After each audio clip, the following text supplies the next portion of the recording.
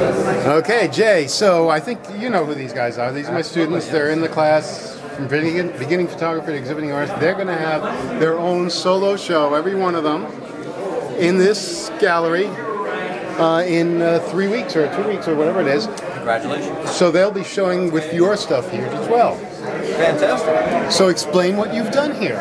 Well, this, this particular show is all images that are layered one on top of one another. That's basically the connecting theme between them.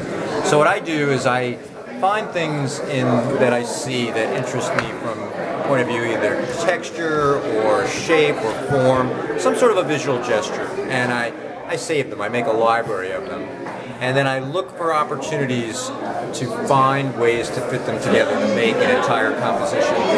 This particular set is all focused on things being on top of one another and various levels of masking and transparency applied to them so you can see portions of one picture and portions of another picture and they're sort of blended together, sometimes in very hard ways, sometimes in very soft ways depending on the mood that I was going for. Um, and that's how these connect. And it's uh, you know the images are captured in a traditional way, but then they're put together digitally, and uh, sometimes they're even manipulated in terms of distorting them and making them into different shapes and fit with one another. Um, and sometimes that process works very organically and very quickly, and sometimes it takes forever and it's very iterative and there's many, many times that you go through to get to what you want. And we were just interviewing Irene, Uh-huh. and she happened to mention the word in doing her work, fun. Is fun play with you at all? I I get an incredible amount of enjoyment out of doing it. It expresses, um, you know, there, there's something about it that's very releasing, and particularly, you know, when you you're working it and working it and working it, and when it all comes together. So I'd say it's extremely enjoyable. I, I don't find it fun in a lighthearted way. If, I'm not sure if that's what she was implying at all because I didn't hear her interview, but it is incredibly. Um, uh, satisfying and enjoyable, I would, I would say, but especially when it comes together nicely and you get something that you're very satisfied with and that you like.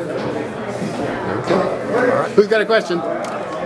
Did this process happen by accident, or was it something you were actively looking to try and achieve? Um, actively looking to try and achieve. Yeah, no, not not accidental at all. It's it's uh, the capturing of the images and the saving them is quite intentional. Uh, the search for things that work well together is also very intentional.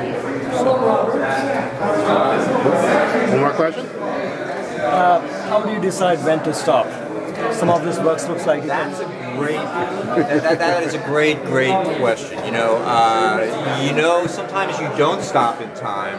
Sometimes you just know when to stop. Sometimes it just happens, and you know it's right, and you know you don't want to do anything else to it. Other times you go past that point, but the nice thing about digital tools is when you do, and you can see that you've gone past it. Sometimes by holding different versions next to one another, you can say, you know what, I was done, and you can put those aside. So you don't always know is really the answer. Sometimes you have to discover it after the fact. Thank you so You're much. welcome. You're very welcome. Thank you. No, thank you. Yeah. No, no, no, thank you. Take care.